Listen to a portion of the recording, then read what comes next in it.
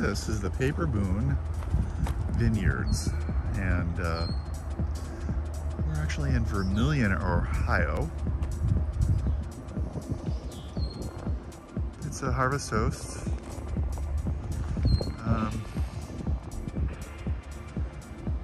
we're, we're, looking forward to uh, you know getting some wine here, maybe a little food. We don't know, but that's kind of the deal looks nice. Looks like a nice place.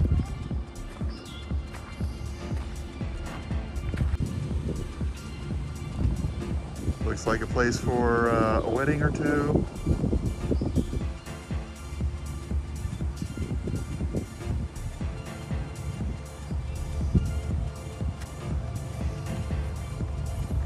Huge fire pits.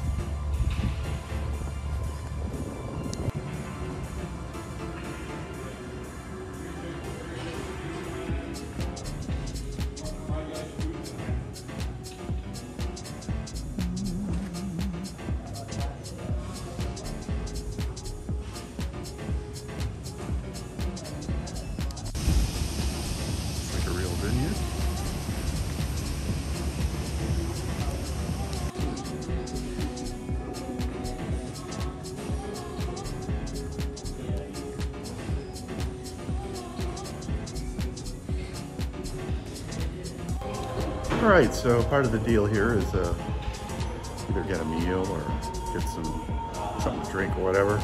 I got uh, a bottle of Sailor's Red, which they actually grow and ferment here, and uh, honeymoon mead, which is what this is.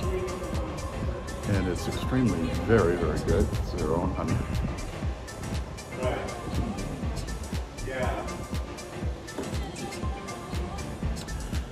It's kind of a nice way to finish the day.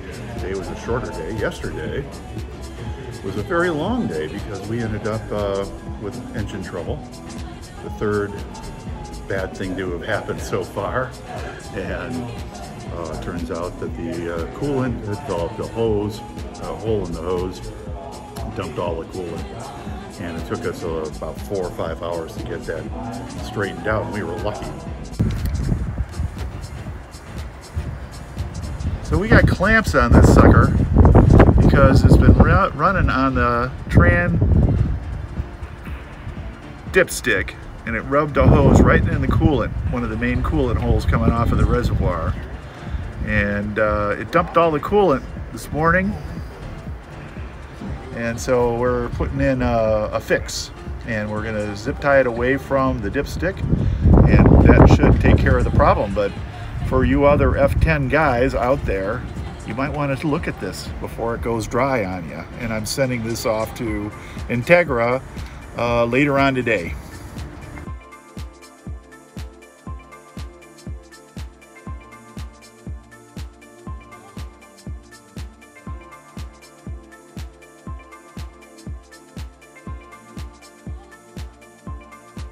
Two have gotten straight about Uh, thanks to uh, uh, Bill Marsh Ford for helping us out.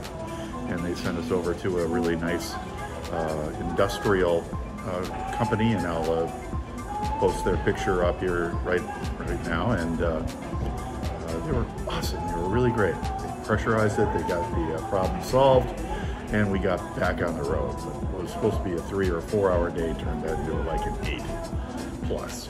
And then we ended up at Point Hope. So I think uh, Janet's got some pictures of that, and I'm going to throw those on as well.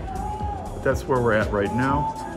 Um, we're going to be uh, here for a little bit, pick up a mattress tomorrow, and uh, then we're going to be going up into New York, I think, for a little bit on my way to Shars, uh, my sister, for their 50th wedding anniversary. So, um, nice view, pretty warm out right now. I'll see you later.